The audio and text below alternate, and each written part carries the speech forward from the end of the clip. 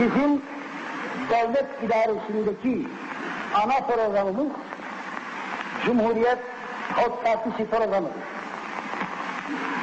Bunun kapsadığı prensipler idarede ve siyasette bizi aydınlatıcı ana hatlardır.